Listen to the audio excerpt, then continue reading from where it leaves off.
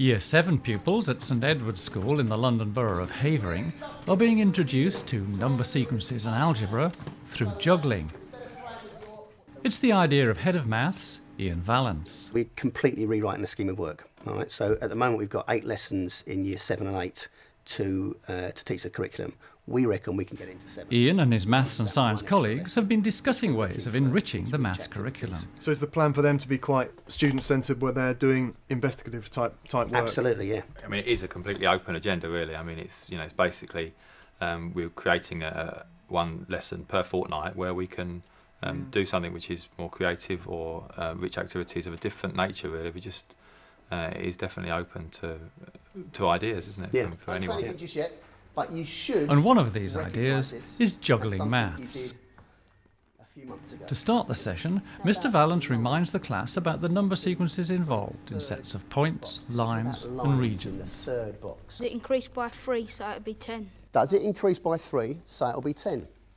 It's a number pattern. It's gone from 4 to 7 to 10. We can just check this out.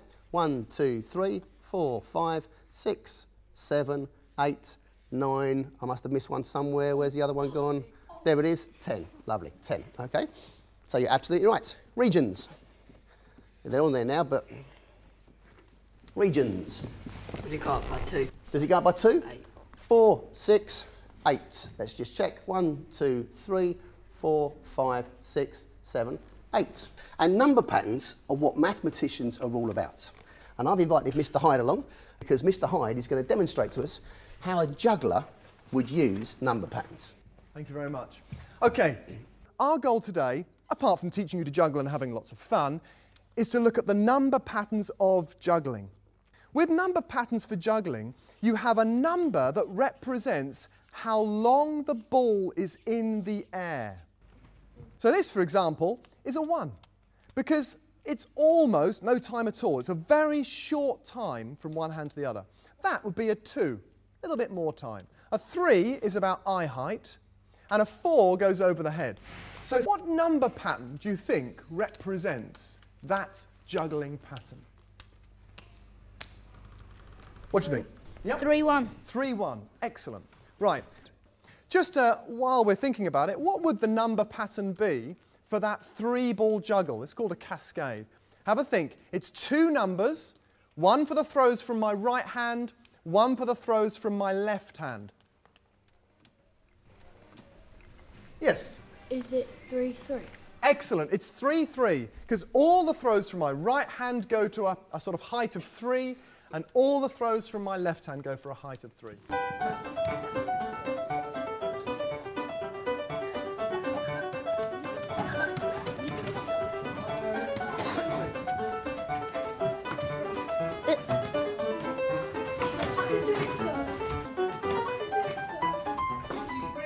As well as having fun, the pupils are encouraged to think about what each hand is doing while they're juggling and the numbers involved.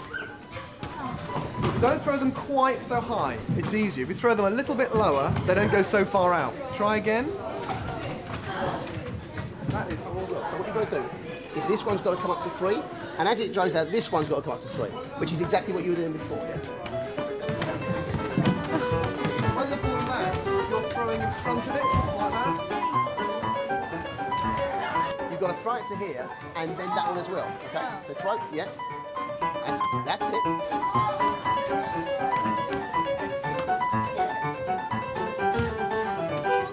Right, this for me is the favourite bit of the lesson because this is where the maths takes over from the juggling. And I just stand there being the mathematician and Mr Hyde stands there having to be the juggler, providing you can suss out the number patterns, okay?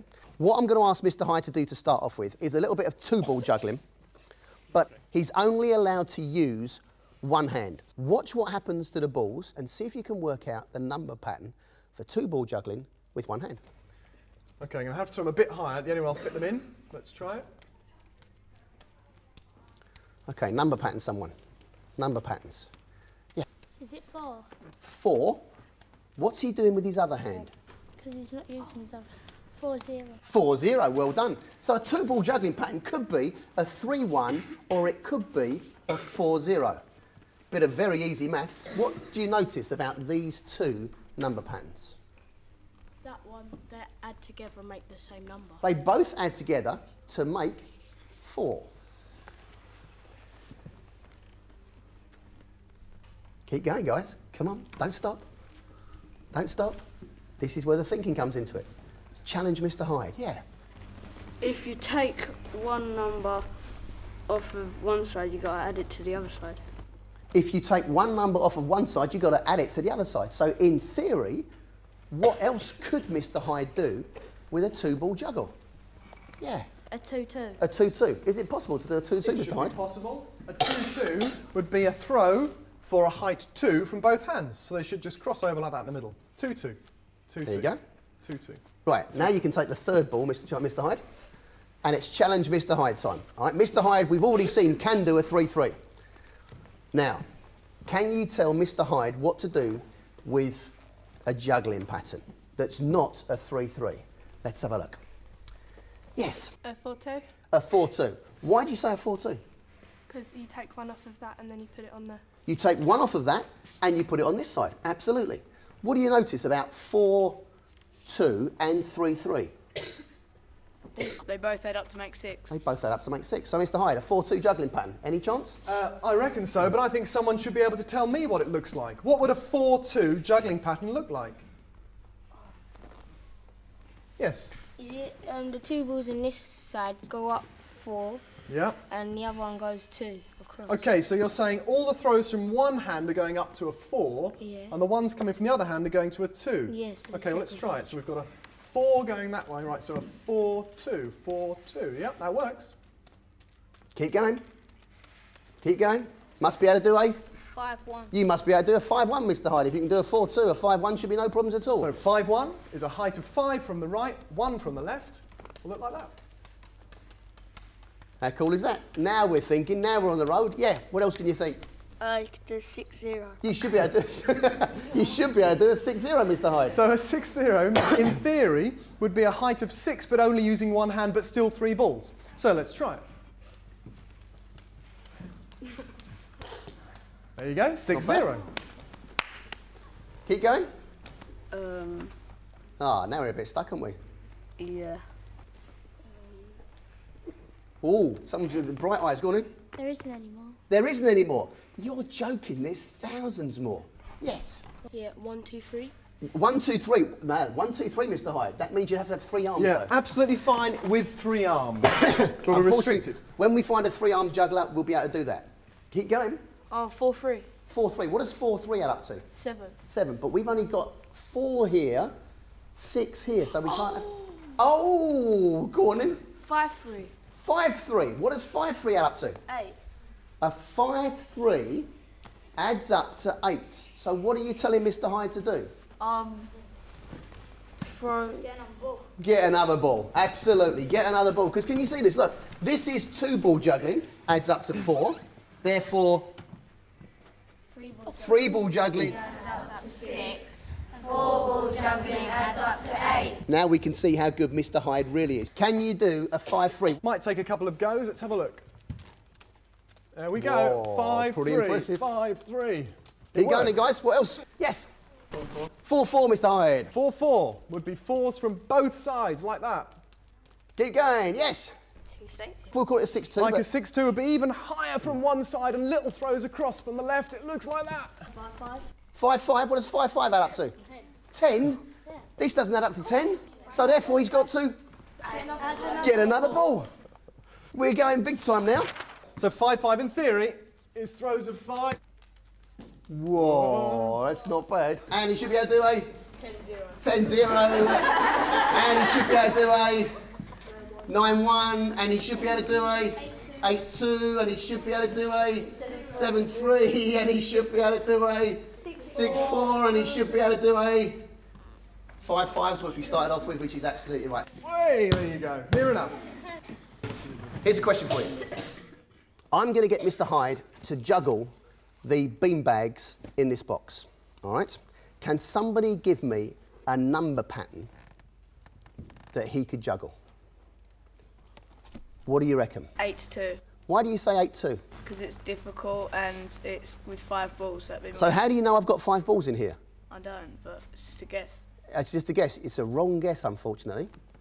Yes. Uh, two two. How do you know how many balls I've got in here? I don't know. I'm just guessing. Okay. Unfortunately, I'm not going to allow you to guess anymore. I need an exact answer. No guessing. Do you know? No. What do we normally do in maths when we don't know what a number should be? Yes. Algebra. Algebra. So instead of calling this a number, we're going to call it a letter. Pick a letter for me. Um, T. T. All right. So we have got T number of beanbags in my box. So what are the numbers going to add up to that Mr. Hyde is going to have to juggle? Okay. Have a look at the numbers on the left-hand side and the numbers on the right-hand side. Now we're into some algebra here. What do you think? T times 2. T times 2. How do we normally write T times 2? 2T. 2t. Now it starts getting tricky. Can anyone suggest for me then a number pattern that Mr. Hyde could juggle? Can you suggest a number pattern that Mr. Hyde could juggle? TT. TT, absolutely. TT would work. Now, if we go all the way back, somebody suggested a way of changing this 3 3 to another number pattern. What, what was your suggestion? We took a number from one side and added it to the other. We took a number from one side and we added it to the other. So give me another number pattern that Mr. Hyde could juggle by taking. Go on then, try it. T zero. No. What happens when you take one away from T? What do you get? Right at the back. When you take one away from T, what do you get? T minus 1. T minus 1. So we could do a T minus 1, and we could also do, on the other hand, T plus a T plus 1. Okay? And therefore, we should be able to do a. What else could we do? A T minus 2 A T minus 2 and a T plus and a T plus 2. Okay? Absolutely. Until eventually, what you get down to is you get down to what we started off from, which was 2T in one hand and 0 in the other hand. And that's how jugglers talk. Let's have some ideas. What did you learn last time from the juggling lesson? What did you learn?